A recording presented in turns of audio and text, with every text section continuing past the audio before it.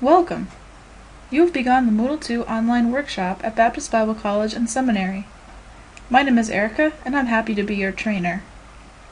If you have any questions during the course of this workshop, please post them in the Q&A forum located on top of the training page.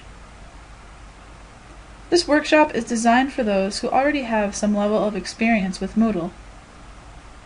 If you are new to Baptist Bible College and Seminary or new to Moodle, please contact me for access to our orientation course, which is a more basic and foundational training for beginners.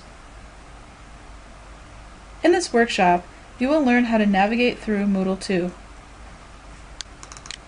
In addition, you will learn some of the essential features that Moodle added to its upgraded platform.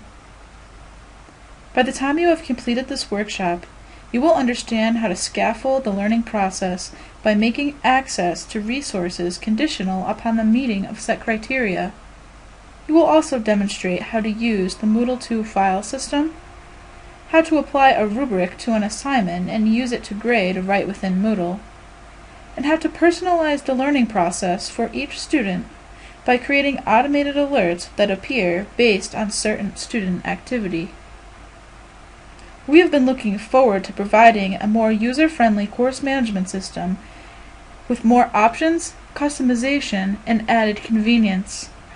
So, welcome to the training and enjoy the ride as we explore Moodle 2.